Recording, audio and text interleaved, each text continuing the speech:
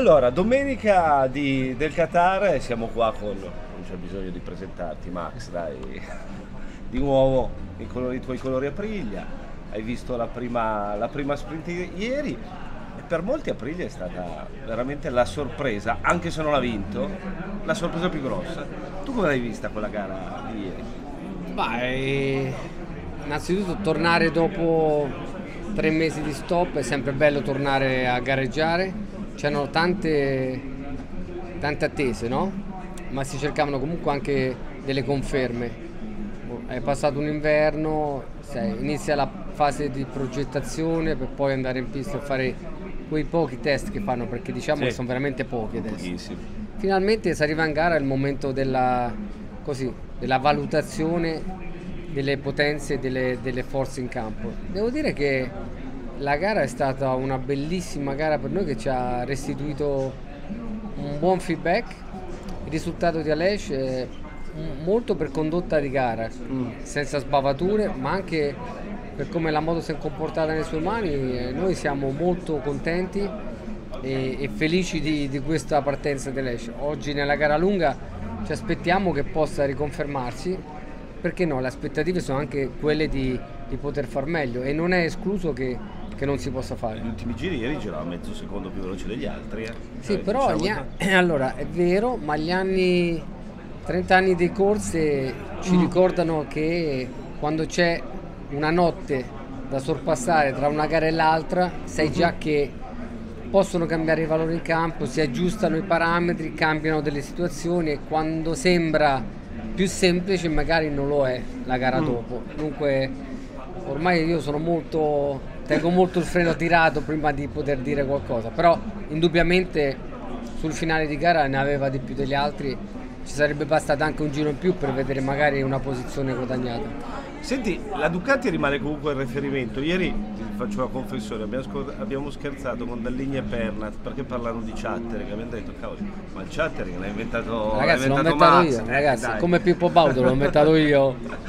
Sì, sì, nel 1993. esatto, sono passati 30 anni. Infatti ti daranno il copyright. No, che poi qualcuno mi prendeva anche in giro, no. che è sto chattering? È sto chattering? È una vibrazione, ragazzi. Io ero costretto a dire chattering perché la mia squadra era americana, Infatti, non parlava nessuno in italiano, dunque per me era chattering.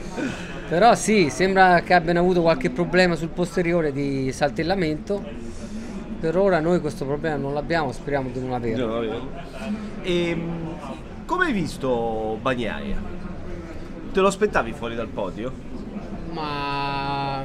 Mm, no, magari mi sarei aspettato che avrebbe, avesse eh, recuperato quel pelino in più, ma indubbiamente non era al 100%, però se guardiamo invece Martin, Martin, più o meno stessa moto, ha fatto una gara totalmente diversa non lo so come leggerlo, sicuramente la gara lunga ci dirà di più, però Martin è un brutto cliente e credo che averlo compagno di squadra o di marca non sia facile. Non sia facile.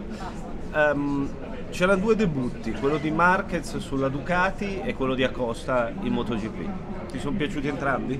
Devo dire la verità, sì, devo dire superato l'esame debutto di Acosta per un rookie non fare errori, e fare le prove che ha fatto lui che comunque era sempre nella top 5, top 7 devo dire ha convinto. E da qui può solo migliorare, Sai, la cosa brutta è che quando cadi MotoGP ci metti un po' a riprendere le misure. Lui non sembra avere questo problema.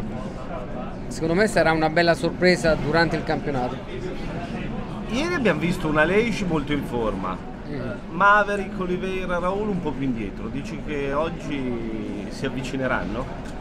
Io me lo auguro perché abbiamo bisogno di, di, di, piloti veloci nella top 5, eh, ma perché la possibilità ce l'ha.